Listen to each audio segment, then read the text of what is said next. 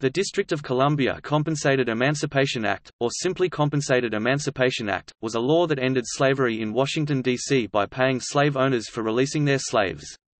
Although not written by him, the act was signed by U.S. President Abraham Lincoln on April 16, 1862. April 16 is now celebrated in the city as Emancipation Day.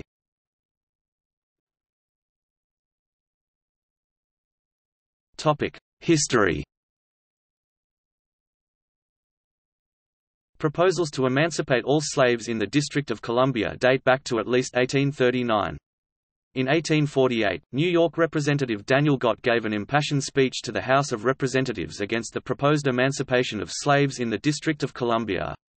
Gott described the actions of abolitionists of the northern states as impertinent interference with the slaves, impertinently intruding themselves into the domestic and delicate concerns of the South, understanding neither the malady to be corrected nor the remedy to be applied.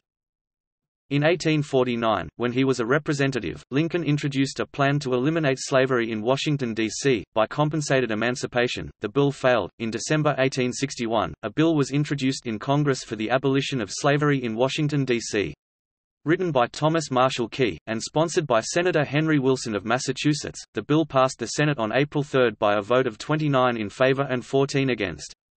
It passed the House of Representatives on April 11. Lincoln had wanted the bill to include a provision to make emancipation effective only after a favorable vote from the citizens of the District of Columbia.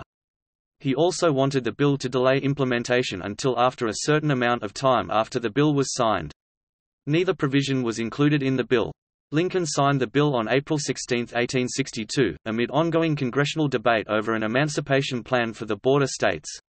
Following the bill's passage, Lincoln proposed several changes to the act, which were approved by the legislature. The passage of the Compensated Emancipation Act came nearly nine months before the signing of the Emancipation Proclamation.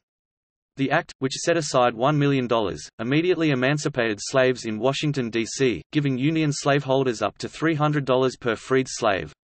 An additional $100,000 allocated by the law was used to pay each newly freed slave $100 if he or she chose to leave the United States and colonize in places such as Haiti or Liberia. In Washington, D.C., April 16 has been celebrated as Emancipation Day since 1866.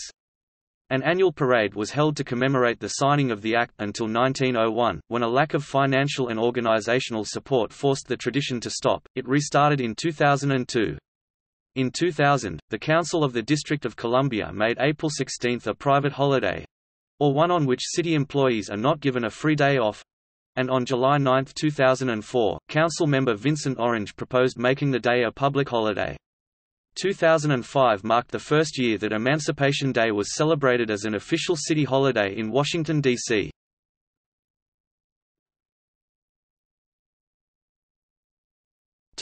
Outcome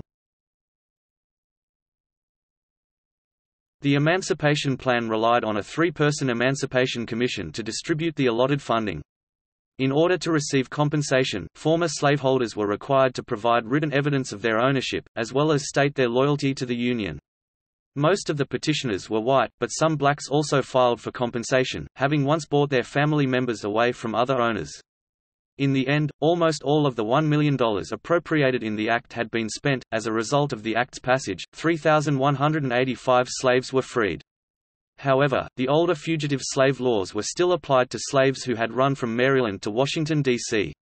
The slaves were still subject to the laws, which supposedly applied only to states, until their 1864 repeal. Although the compensated emancipation model was not later adapted by the U.S. government, the Act signified the forthcoming demise of slavery in the United States.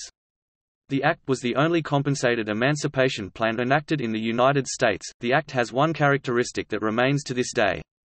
When the limit to file income tax returns in the United States, April 15, falls on a Sunday, the due date would normally be advanced to Monday, April 16. However, since April 16 is a holiday in the District of Columbia, it applies to IRS offices there as well, thus the due date is advanced for the entire country to Tuesday, April 17.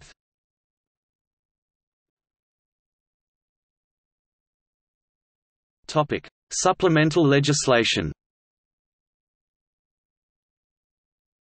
Following Lincoln's concerns over the version of the bill that he signed, the U.S. Senate approved a supplement to the original Compensated Emancipation Act. The amendment passed on July 12, 1862, allowing former slaves to petition for compensation if their masters had not done so. Under the Supplemental Act, claims made by blacks and whites were weighted equally, whereas previously, the testimonies of blacks—enslaved or free—were discarded if challenged by a white person.